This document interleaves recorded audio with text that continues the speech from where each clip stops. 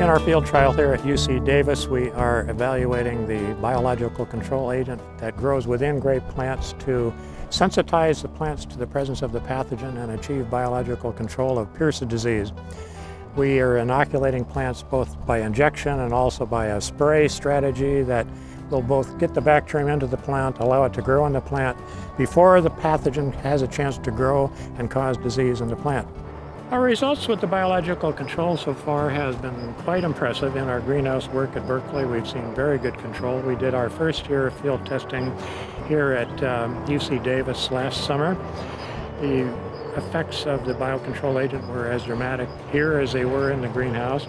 We got quite high levels of disease control. So with that in mind, it looks like we should be thinking forward to using this on a more commercial basis.